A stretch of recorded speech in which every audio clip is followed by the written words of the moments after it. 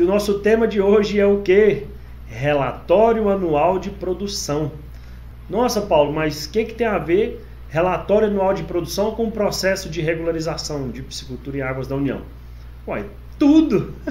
Simplesmente tudo a ver. Porque o que acontecer durante o ano produtivo, né, tudo que aconteceu durante a sua produção regularizada, né, regularizada dentro daquele ano produtivo, tem que ser apresentado para o Ministério da Agricultura, para a Secretaria de Aquicultura e Pesca, nesse relatório.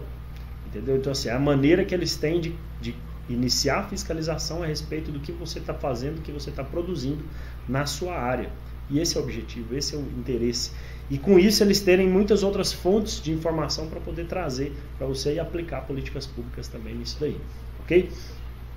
Então, olha só, o relatório anual de produção é uma ferramenta muito importante para ordenamento e desenvolvimento da aquicultura. Por quê? Porque contribui com a elaboração de políticas públicas. É o que eu estava falando aqui. Eles precisam ter dados para poder elaborar essas políticas públicas né, de fomento à aquicultura nacional além de fornecer dados para o planejamento e investimento também no setor privado. Então, senhora, que informação, gente, informação, às vezes a informação ela não tem valor. Né? O que eu vou passar para vocês aqui, daqui a pouco eu vou até explicar. Eu estou fazendo essa introdução a respeito de relatório anual de produção. Mas informação às vezes não tem valor. Você imagina alguém que saiba que que, a, que sabia na época que a, a ação da Magazine Luiza, por exemplo, ia ter essa subida, essa elevação enorme que ela teve. Quem tinha essa informação falou para o rapaz: Compra que vai dar certo. O cara comprou lá, comprou 100 mil reais. Hoje ele tem 100 milhões de reais. Estou chutando, entendeu?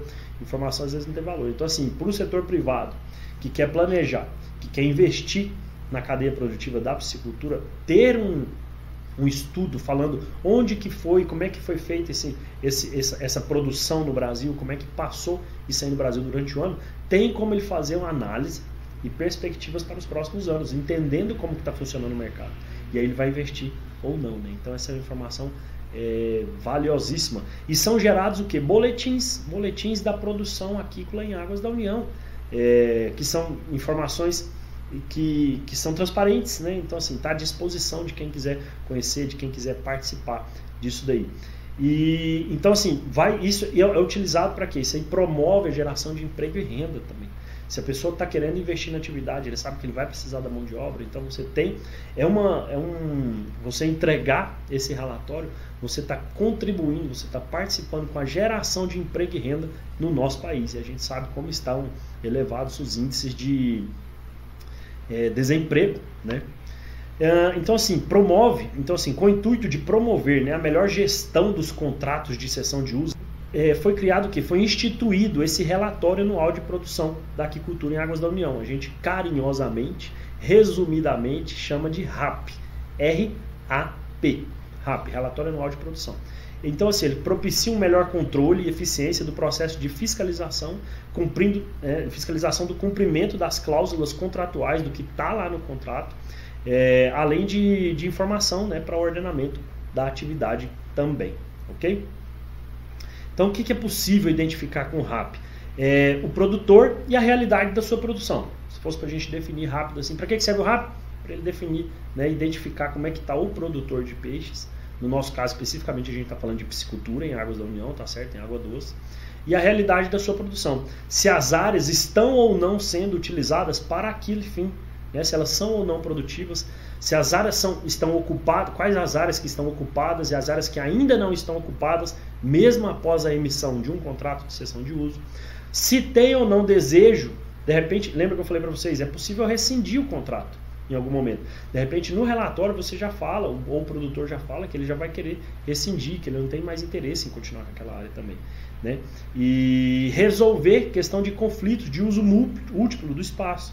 Às vezes pelo relatório você vai saber quem está produzindo ali de verdade, quem não está e para quem que tem que ser dada essa prioridade, tá certo? Assim, elaborando planos e ações para o ordenamento e desenvolvimento da política aquícola em águas da União, ok? E esse relatório ele é muito bacana porque ele, o preenchimento dele é online. Então é um formulário né, que foi criado é, pela Secretaria de Agricultura e Pesca junto ao Ministério da Agricultura. Então esse relatório ele, é, ele foi totalmente estruturado, né, feito para poder funcionar online. E é muito bacana de preencher ele. Né? Muita informação, vou mostrar aqui para vocês. é, para poder ter esse, esse, esse entendimento. A estrutura foi feita né, no Agroform do Ministério da Agricultura, Pecuária e Abastecimento, é, e a disponibilização para esse preenchimento, né, foram feitos vários testes pela SAP, pelo MAPA, com técnicos responsáveis, né, com vários técnicos. A gente participou disso daí, né, de você montar, é, escrever, preencher o relatório, mandar isso daí para ver como é que ele estava funcionando, se era possível validar a implementação dessa ferramenta dessa forma, de forma online. Ao invés de eu fazer um relatório, escrever, ficar aquela coisa toda canseira e insustentável, na verdade, você entra no, no site, no link, preenche, passa todas as informações e segue isso daí, tá certo? Bom, qual é a importância disso aqui hoje? Porque eu vou mostrar aqui o passo a passo como é que você preenche um relatório anual de produção. E para que, que eu vou te mostrar isso? Porque esse é um serviço que eu recebo para fazer. Entendeu? Então eu tenho, tenho custos para poder fazer esse preenchimento de relatório. Eu vou te ensinar aqui, eu vou falar o passo a passo de montar, porque você que é técnico, você pode aprender para fazer isso daí e cobrar por esse serviço, ou você que é produtor, responder esse relatório e e de repente você economizar esse dinheiro com o seu responsável técnico, entendeu? Vai da combinação que vocês fizerem. Normalmente o produtor, quando ele fecha um contrato de assistência técnica, né, de consultoria, ele quer que o técnico faça tudo. E é a função do técnico preencher esse, esse formulário também. Mas a gente sabe que tem produtores e produtores. Às vezes o próprio produtor já tem um conhecimento maior, ele tem uma formação na área e ele pode preencher isso daí se ele quiser também. Até porque é uma, é, ele é autodeclaratório. Claro, baseado nas informações que você tem. Então, assim, eu, Paulo Roberto, daqui pela consultoria, eu cobro para fazer esse serviço. Eu já tenho seis serviços desses para fazer aqui agora. A gente tem até 31 de março para poder fazer esses relatórios, ok? Para poder entregar. O, o, a Secretaria de Agricultura e Pesca, ela passou essa data para nós. Então é isso que vai acontecer. Até dia 31 de março a gente tem que preencher isso daqui ok? É um serviço que eu cobro para fazer. Então, se eu cobro para fazer, eu estou querendo trazer essa informação para você. Por quê? Porque eu comecei lá em 2005, entendeu? Eu comecei lá em 2005, eu não sabia fazer nada disso. E isso a gente não aprende em faculdade. Isso a gente aprende fazendo, ok? E eu não tive ninguém para me ensinar, eu tive que aprender fazendo. É, às vezes entregava, não estava certo, entregava, não estava certo, fazia alguma coisa, não estava certo. Mas quando foi implantado esse relatório, a gente participou, viu como é que era e viu que, que não era uma coisa tão complicada, mas também não é uma coisa tão simples, né? Você tem que fazer essa declaração lá, essa entrega desse relatório. É, eu quis contribuir hoje. Né? Hoje eu estou trazendo mais um conteúdo para você, um conteúdo que pode fazer você ganhar dinheiro. Esse que é o bacana, né? Tô te dando essa dica, tô te passando essa informação que de repente pode fazer você ganhar dinheiro. De repente você que é técnico, tá próximo a várias pisciculturas aí e o pessoal em Águas da União, e o pessoal tem que entregar esse relatório, não sabe quem faz, você fala assim: "Eu sei, porque eu assisti uma live, eu assisti uma fish class do Aquiplan Consultoria e o Paulo me ensinou como é que preenche isso daqui. Ele me ensinou passo a passo o que, que tem que fazer. E eu vou falar para você o que está escrito em cada passo a passo aqui que você deve escrever, tá certo?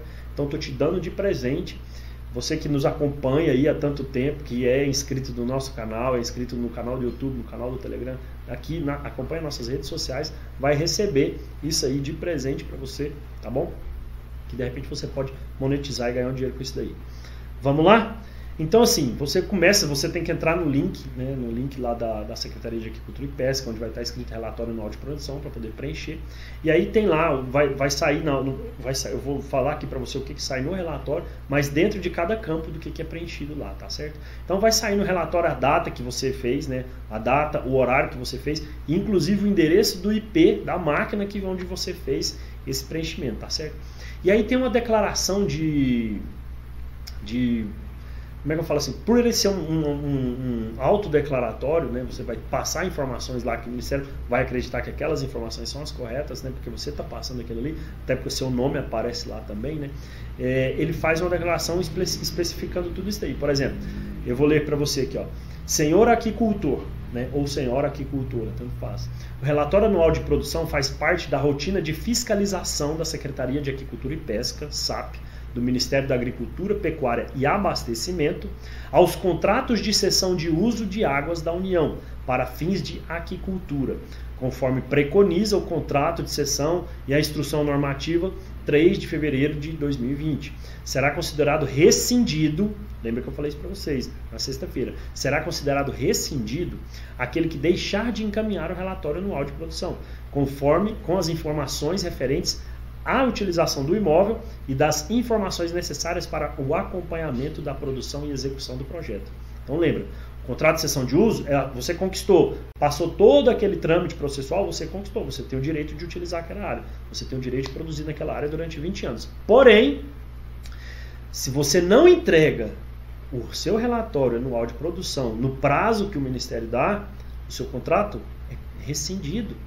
E aí todo aquele trabalho que você teve para poder legalizar a sua piscicultura vai literalmente por água abaixo.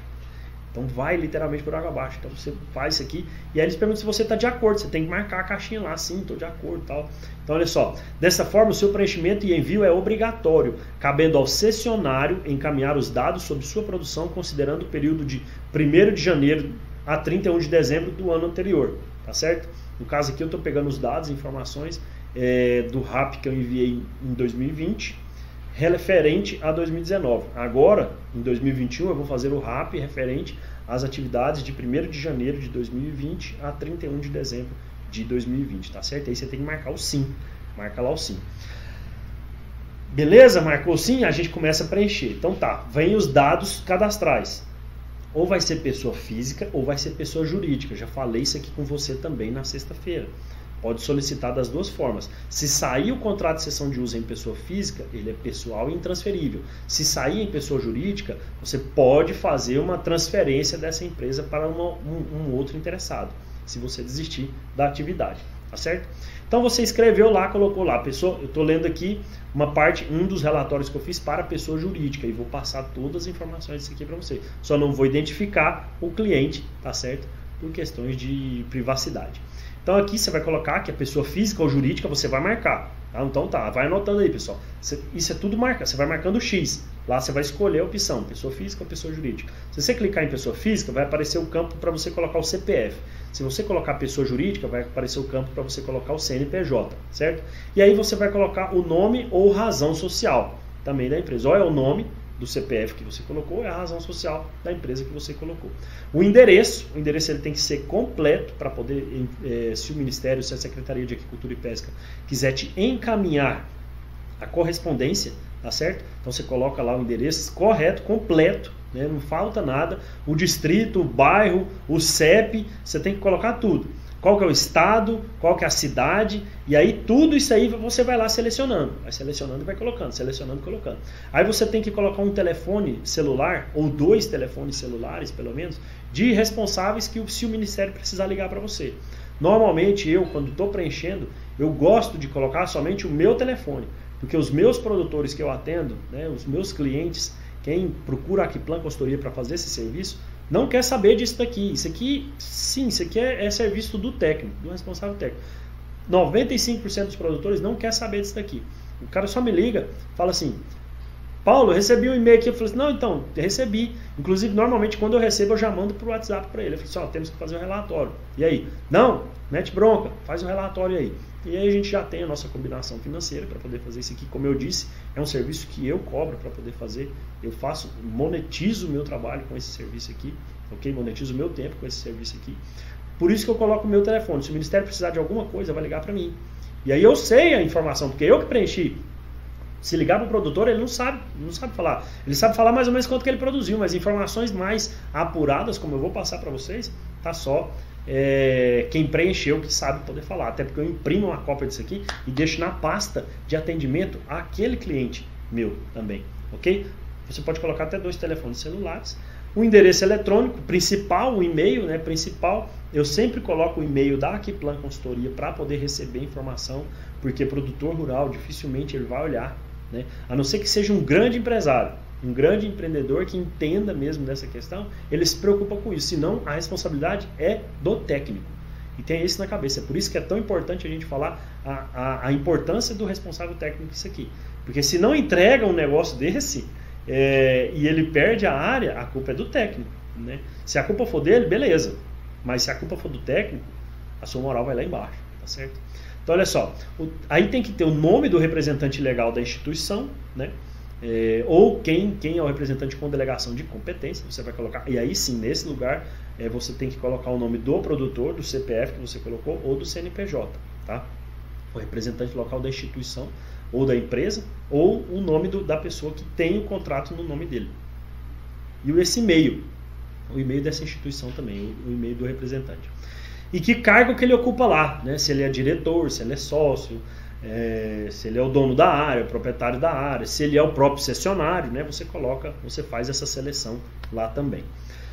Aí vem a parte de localização do projeto, né? Então você vai ter que, é, vai ter que responder algumas perguntas aqui agora. Vamos lá. Está produzindo na área estabelecida em contrato? Então lembra que está lá no contrato, aquela área das poligonais, da poligonal, das coordenadas lá, tudo. Você está produzindo dentro da área? Você marca lá, sim. Está marcado sim aqui. Qual que é o número do seu contrato de sessão de uso? Eu escrevo o número do contrato de sessão de uso e coloco o número do processo que gerou esse contrato. Estou falando do jeito que eu faço, estou ensinando para você o jeito que eu faço. Né? Coloca, preenche. Aí a pergunta, a próxima pergunta, está dentro de um parque aquícola? Não, nesse caso aqui especificamente não. É uma área aquícola que foi solicitada. Então a gente marca o não. Nome do corpo hídrico. Reservatório fulano de tal. Tá lá, você vai escolher. Né? Tem a, a, as opções para você escolher lá. Qual a situação? Olha a pergunta. Qual a situação atual do licenciamento ambiental? São dois processos. Contrato de cessão de uso, licenciamento ambiental. O contrato de cessão de uso saindo, ele é obrigatório para você entregar junto do licenciamento ambiental. Mas, com o contrato de cessão de uso na mão, você já tem aqueles prazos para você cumprir, você já tem que responder isso aqui, no seu primeiro ano de produção. Né? Então, qual é a pergunta? Qual a situação do licenciamento ambiental? Aqui ele respondeu: possuo protocolo de licença ambiental. Então, tem, tem as opções lá para você. Não possuo, não tenho licença, possui o protocolo ou já possui a licença. Né? E aí, dependendo dessa opção que você marcar, é, vai ser pedido para você é, um documento que comprove. Não é só você falar, ah, eu tenho a licença, ah, eu tenho o protocolo. Não, é, então me manda. E aí a gente faz o que? A gente faz um, dá, é, escaneia, né, passa no scanner é, o protocolo do licenciamento e anexa dentro do sistema. E a gente faz essa, essa, esse anexo lá dentro do sistema, coloca lá o dia que foi feito, tá tudo escrito lá. O que você tem que fazer, o que você tem que fazer tá lá nessa parte, é muito intuitivo. Você pega e coloca. Mas se você marcou, aqui a gente marcou, eu tenho o número do protocolo. O meu processo de licenciamento ambiental está correndo, né? Está correndo e eu estou produzindo da mesma forma. Coloca lá para o Ministério saber se você buscou a regularização, porque lembra que você tem a obrigação algumas obrigações que estão lá dentro do contrato. Uma delas é você buscar o licenciamento ambiental naquela área, tá certo? E aí você faz esse upload é, para o sistema. Outra coisa que você tem que mandar para o sistema é fotos da sua produção. Né? Então, assim, se você está produzindo, e aqui nesse caso o produtor estava mesmo produzindo, ele vai tirar fotos. Eu vou tirar fotos, eu sou o responsável técnico, eu vou lá tirar fotos, tiro fotos e encaminho aqui também, faço o upload dessas fotos pelo menos duas, três fotos tem que ser é, colocadas lá. E cada foto que você subir para o sistema, você tem que informar. Olha, é, foto bateria de tanques rede, foto balsa de manejo, foto unidade, área de produção, foto despesca. E aí você vai citando, você vai colocando lá, tem todas essas possibilidades para serem feitas. Ok? Aí vem dados de produção. Dados de produção. Agora começa a ficar interessante também, né? Então você vai considerando as despescas que você. E aí agora, agora que é interessante. Né? Porque que às vezes o produtor não consegue entregar esses, esse, esse, toda essa informação. Porque aqui a pergunta é considerar as despesas realizadas entre 1 de janeiro e 31 de dezembro. Então, o que, que acontece? Se eu estava com peixe lá em dezembro de 2019 né, e eu só despesquei ele em abril de 2020, por exemplo, beleza, eu coloco. Agora, se eu, o peixe que eu coloquei em outubro de 2020, que eu só vou despescar né, em janeiro, fevereiro de 2021, não entra no relatório. Porque ele pede aqui simplesmente a quantidade que você fez de despesca naquele ano. Tá certo? Aí pergunta: houve produção em 2019? Sim, houve. Né? Quando você marca o sim, vai aparecer todas as espécies de peixes possíveis e impossíveis de serem criadas, de serem produzidas no Brasil. E aí você vai ter que olhar uma por uma e escolher aquela que você está produzindo para poder falar, não, eu produzo é só essa. Ou eu produzo essa, essa e essa. Você marca todas as espécies de peixe que você está produzindo. Você tem que marcar isso aí lá, tá certo? Ó, olha, e tá todas as espécies de peixe mesmo. Bagre, carpo cabeça grande, é, carpa capim, matrinchã, jundiá, curimatã, pacu, piauçu, piau, pintado, pirapitinga, pirarucu, tambacu, tambaqui, tilápia. Né? Nesse caso específico, ele estava produzindo tilápia. Então eu vou lá na tilápia e marco sim na tilápia, que era a única que está produzindo, tá certo? Então você vai colocar somente, você vai passar somente a informação da espécie de peixe que você está tá produzindo. Quando você marca a tilápia, no caso, vai vir as perguntas em relação à espécie de peixe que você está produzindo. Então tá lá, código da espécie, nome popular, P018, tilápia do Nilo. Aí a pergunta é, qual é o seu tipo de produção para esse peixe? Recria, forma jovens, engorda? A gente vai lá e marca engorda. Nesse caso específico é engorda, então eu vou marcar engorda, tá certo? Marquei engorda. Aí vem a próxima pergunta. Qual que é a produção anual? Quanto que eu produzi nesse ano de 2019? Que no, caso é esse relatório que eu estou lendo aqui para vocês. Produzimos 30 toneladas no ano inteiro, né? Beleza. É, nome popular, né? Tilápia, código da espécie, a mesma coisa. Vamos lá, próxima pergunta. Quantos ciclos por ano foram produzidos? Dois ciclos por ano foram produzidos. Você anota lá também. É uma informação que você fornece. Uh, número de tanques rede instalados. Quantos tanques estão instalados lá? 40 tanques rede. Né? A produção era pequena ainda. É, volume total desses tanques rede: 18 metros cúbicos. Você está informando, você está apresentando. Tudo isso em relação a essa espécie, tá certo? O uh, que mais? Densidade média que você trabalhou de peixes lá dentro. 55 peixes por metro cúbico. Ainda está escrito lá assim, ó, número de peixes por metro cúbico. Aqui a pergunta é quantos peixes você está colocando por metro cúbico, não é quilos. Tá? Então você vai colocar lá, 50, aqui a gente colocou 55 peixes por metro cúbico, tá certo? Peso médio individual na despesca. Quem sabe responder isso aqui é o responsável técnico. O que mais sabe responder isso aqui. Qual foi o peso médio lá na despesca? Peso individual, peso médio, 800 gramas. Tá certo? Qual foi a conversão alimentar que você teve no seu período, no seu ano inteiro? A média, 1,7. A nota fornece essa informação também. Tudo isso aqui que eu falei, se você tiver mais de uma espécie, você tem que fazer tudo isso para cada espécie que você informou. Então aqui especificamente é tilápia. Mas se eu produzisse matrinchã, eu ia ter que responder isso aqui tudo de matrinchã. Se eu produzisse tambacu, eu ia ter que responder isso aqui tudo de tambacu. E por aí vai. O peixe que você estiver produzindo, você vai ter que entregar essa informação, ok? Beleza? Falei dados de produção. A gente vai falar agora o que? Aquisição de formas jovens. E aí é o que? Todas as informações que você tem referentes à compra de formas jovens, alevinos, em naquele ano específico, no ano base específico, ok? Então assim, se você comprou de 1 de janeiro a 31 de dezembro, você tem que informar. E quais são as informações que você tem que apresentar para a Secretaria de Agricultura e Pesca? O seu fornecedor, quantos fornecedores que você utiliza? Você tem só um fornecedor? Beleza, então você vai passar o nome do fornecedor, é, a espécie que você compra desse fornecedor, a quantidade em milheiros que você comprou desse fornecedor e o peso individual que você comprou desse fornecedor.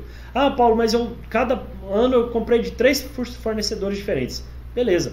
Do primeiro fornecedor você me dá o nome, o peixe que você comprou, a espécie, é, a quantidade e o peso individual. No segundo você vai me falar a mesma coisa, que peixe você comprou dele, qual que era, qual que era o nome a espécie, a quantidade que você comprou e o peso inicial. E assim sucessivamente. De todos os seus fornecedores, você vai ter que entregar nome, quantidade que você comprou, que peixe que você comprou e qual era o peso inicial que você comprou deles. Tá certo? Se você tiver 20 fornecedores, você vai ter que falar isso dos 20 fornecedores seus. Compra de ração. Além de informar no, no momento do licenciamento, no momento da regularização, você tem que informar nesse momento aqui também. Toda a quantidade de ração que você comprou dentro daquele ano base vai ter que aparecer aqui nesse momento. Paulo, e se eu comprei de cinco fornecedores diferentes? Adivinha? Você vai ter que falar dos cinco fornecedores aqui. Então vamos lá. Uso de ração 1. Paulo, e se eu comprei três tipos de ração de um mesmo fornecedor? Maravilha, você vai explicar cada ração que você comprou também. Vamos lá. Uso da ração 1. Primeiro ele vai falar o que? A marca. Marca fulano de tal. Quantas compras você fez dessa marca? Uma. Qual era o teor de fósforo na ração? Quantos quilogramas por tonelada tinha nessa ração específica? X. Teor de proteína bruta da ração que você comprou desse fornecedor, dessa primeira compra, 45%. Quantidade total que você comprou em toneladas dessa primeira ração, 5 toneladas. Então quer dizer que eu estou comprando 5 toneladas de uma ração 45%, do fornecedor tal para eu fazer para minhas formas jovens, para os meus alevinos. Isso aqui é a minha é, explicação da ração que eu comprei para os meus alevinos. E aí lá mais para frente, tem, eu tenho que falar a ração 36, eu tenho que falar da 32, eu tenho que falar de tudo que eu vou comprar? Sim, tem que falar. Então olha lá, Ração número 2, qual que é a marca dela? Não, é a mesma ração da de cima. Beleza, quantas compras você fez? Não, continuei fazendo uma. Qual que era o teor de fósforo? O mesmo teor da de cima. Qual que era o teor de proteína bruta? Hoje, essa aqui é a ração de 36%. Qual que é a quantidade que eu comprei em toneladas dessa, dessa marca, de, dessa ração aqui agora? Não, agora eu já comprei 10 toneladas dessa aqui. Informa lá também esse dado. E a próxima 32? Vai informar. E se comprou da 28? Vai informar. E se eu comprei uma 28 com mais vitamina C, 28 Plus Power? Vai informar que você comprou essa 28 Plus Power também. Ok? Que marca que ela é, quanto que você comprou, quantas compras que você fez, qual que era o teor de fósforo e qual que é o teor de proteína bruta que você fez essa aquisição. Passou essa parte da ração, o que, que você vai fazer? Tem uma parte lá que você vai explicar. É, eles te fazem uma pergunta. Né? Uma pergunta que eu até falei lá no começo, uma pergunta simples. Você deseja rescindir o seu contrato de sessão de uso? Esse especificamente, não, lógico que não, estou produzindo na área, estou ganhando dinheiro com isso daqui, para que, é que eu vou rescindir? Mas por quê? Porque tem gente que não está produzindo e não quer mais produzir, não quer aquilo lá. Então, se ele marca isso daqui é, como não, é, aliás, como sim, deseja rescindir, é, o Ministério vai entrar em contato com ele para poder cancelar aquela área e de repente aquela área ser cedida para um novo produtor. Só lembrando, se lá em cima você marcar que não está produzindo na área, eles vão te perguntar o motivo, tá certo? Por que você não está produzindo? Ah, porque eu ainda não fiz o meu processo de licenciamento, eu ainda não protocolei, ou eu ainda não tive dinheiro para poder começar, não tive, tive, problema, alguma coisa. Você vai ter que dar uma justificativa por que você não começou ainda, né? Vai perguntar se você já tem um protocolo de licenciamento. Não, não tem. Não. Por que, que você não tem? Vai ter que dar justificativa. Por quê? Porque se você demorar, lembra que você tem três anos para poder chegar na sua capacidade máxima. Se você entregar três relatórios que você não está produzindo lá, adivinha o que, que vai acontecer? Se em três anos você não cumpriu contrato cancelado. Por quê? Porque você não vai dar conta de produzir lá. Se você não começou a produzir lá em três anos, eles não têm por que ficar segurando essa área.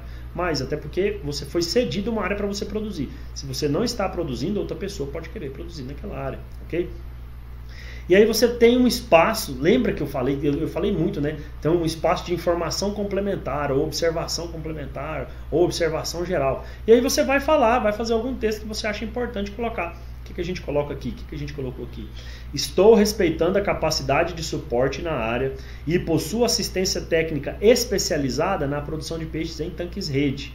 O técnico, o técnico me acompanha uma vez por mês na propriedade e me atende todo o resto dos dias por aplicativo de mensagem, consultoria online que nós fazemos, ok? Então nós vamos lá uma vez por mês ou uma vez a cada dois meses, né?